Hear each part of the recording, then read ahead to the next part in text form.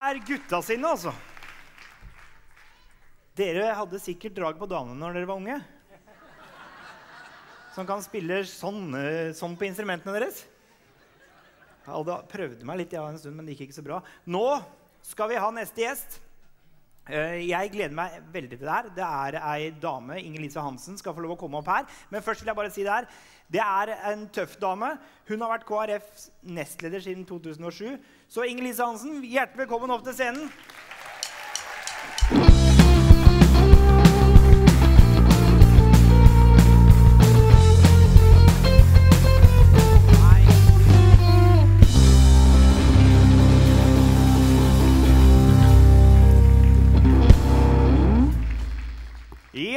Er du fornøyd med ting så langt, eller? Har det gått bra med meg? Jo, veldig bra. Ja, veldig, syns det. veldig bra. Men jeg må si at den siste låta var kanskje høydepunktet. Det er høydepunktet. Det er det. Der ser dere med gutter og draget på damene igjen. det er noe med gutter og musikk, vet du. Men det var koselig du tok deg tid til å komme hit til oss. Jo, veldig hyggelig at du spurte. Ja, jeg syns det sjøl, jeg. At det var hyggelig at jeg spurte. Men det, det, hva er det liksom, har, har dere ferie, dere som er politikere? Hva gjør, det er, vet, sånt veit ikke jeg, skjønner du. Nei, vi tar aldri ferie. Nei, det er det jeg tror. Det er vanskelig å ta ferie fra aviser og nyheter. det er det. Da burde man liksom reise utenlands. Ja, Det har jeg ikke planer om i år, så det var det de prøvde, de som var i Kongo?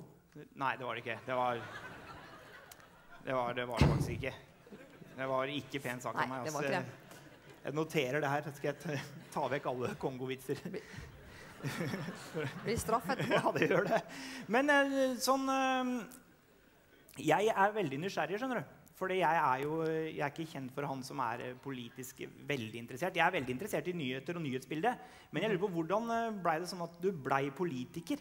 Eh, Gikk du, Var VK2-politiker? Er det Hvordan blir man det? Hvor, Nei, man, skjedde blir, det? man blir, eh, altså Fra man er fem år, så må man gå en spesiell skole. Ja, Ja. Man skal ha hard trening det er det. fra tidlig om morgenen til sent på kveld. Nei, vet du hva? Jeg har, jeg har ikke vokst opp i en familie med noen politikerbakgrunn. eller noe sånt. Nei. Jeg bare fattet interesse for politikk da jeg var eh, 14-15 år. Ja. Og så fant jeg ut at jeg måtte melde meg inn i et ungdomsparti, for jeg må liksom påvirke. tenkte jeg. ja. Ja. Det hørtes lurt ut. Hvis ikke så hadde du ikke fått påvirka så mye. Men hva, Nei, man må liksom ta, ta, ta, ta i et tak, tenker jeg. ja, Så det gjorde jeg. Og så har det bare, egentlig bare ballet på seg. ja, Jeg hadde ingen plan om å bli nestleder i KrF. du hadde ikke det? Nei. Men du klarte det? Ja, det, er, det var nesten de sånn tilfeldighetene som gjorde, skulle ha det til at jeg ble det. Ja. Men det var jo Du er, du er gift med en politiker, er ikke det? Eller som var Jo. tidligere? Eller er han ennå? Han er faktisk politiker, han òg. Ja. Så det er veldig mye politikk hjemme hos oss. Det er det. Stemmer dere over middag og sånn? Er det Nei, men det er to temaer vi ikke kan diskutere hjemme hos oss, for da blir det litt uggen stemning. Ja. Og det er nynorsk og ulv. Å ja. Ja. Det blir bråk. Det blir bråk. Er du, hvem, jeg skal spørre hvem, hva, hva heier du på? Jeg er for ulv og mot nynorsk. Ja, oi. Der tror jeg Og min mann er det motsatt. Han er mot ulv. Mot ulv og for nynorsk. Ja. Ja, jeg skjønner. Jeg, jeg, jeg, er jeg er ikke så gærent heller. Men dere diskuterer da veldig lite ulv og nynorsk hjemme. Nei, det blir ikke noe av det. Ja, det er godt å bo i Oslo, da. Det er ikke så mye. Det kan du si. Men eh, du har jo mm, også jeg, Du har jo vært en tøff politiker, må, må jeg si. Syns du det sjøl, eller er det bare jeg som har den oppfatninga? Du har tø- tørt å si ting som ikke alltid er populært. Ja, men for meg så er det en oppgave til en politiker. Ja, Så jeg definerer kanskje en politiker litt ut av det tradisjonelle. Men Ja. Eh, hvis ikke man våger å stå for noe som politiker, og kan være ærlig og ha en integritet, så tenker jeg at da har jeg ikke noe der å gjøre. nei. Så derfor så Men- Men når, før Ja, det kan dere godt eh, Kan godt si.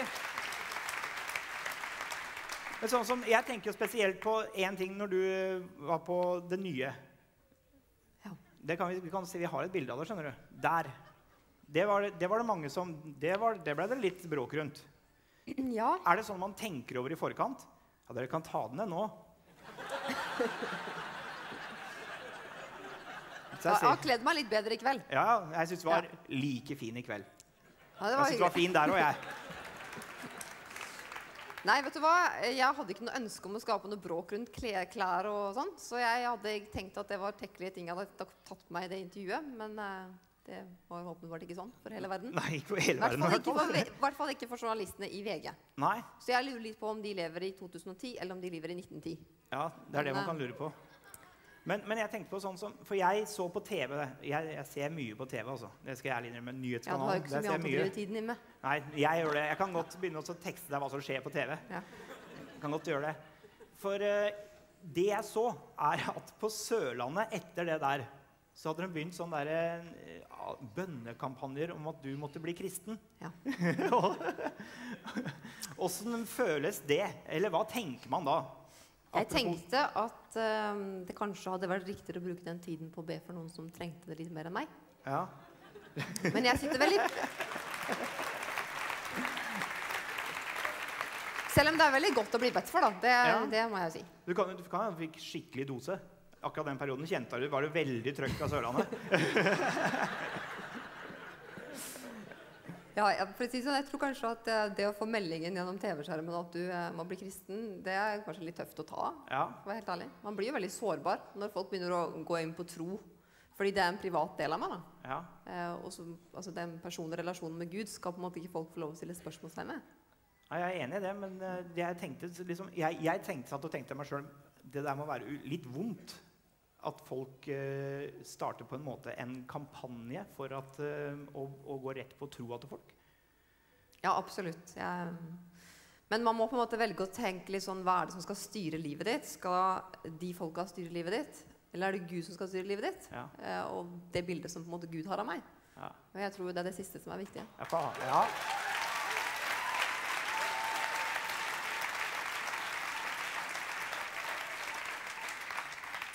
Du har jo også vært ganske tøff når det gjelder bekjennelsesparagrafen i KrF. Jeg hviska det. Ja, du, hun sa ja. Ja. Eh, hva, hva er tankene dine rundt det? Eh, jeg lurer på, for jeg lurer på, uten å vite det helt sikkert, om jeg er helt enig. Jeg tror jeg er helt enig.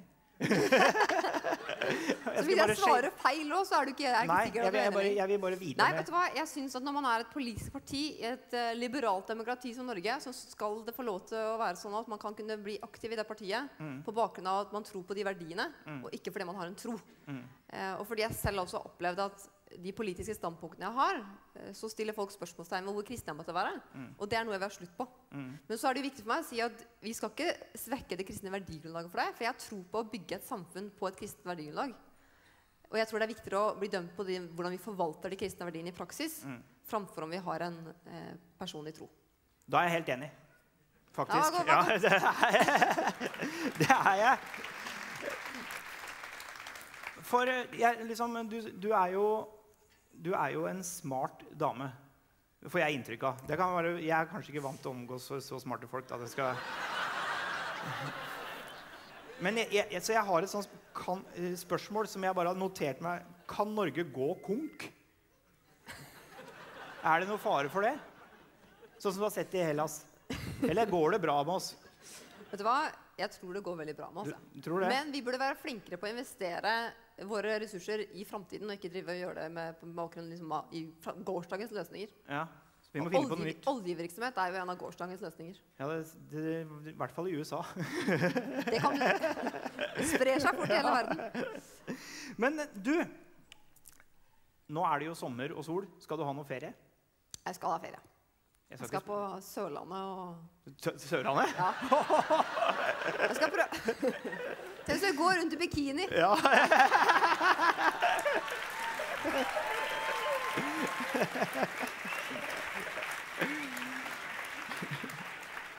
Det var akkurat det jeg hadde planlagt òg.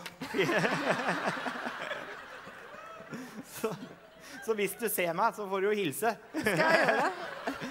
Inger Lise Hansen, vi var så glad for at du kom. Vi heier masse på deg og setter stor pris på deg. Så du får bare stå på og gjøre det du skal. Der datt den. Det får gå bra. Jeg skal ta den med, jeg. Supert.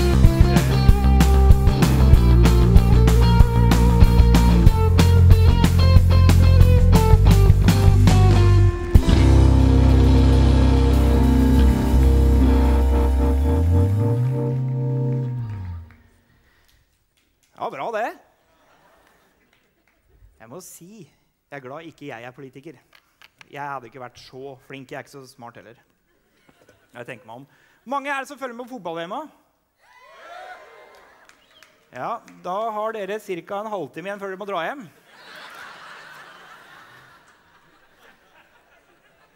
Men så veit det.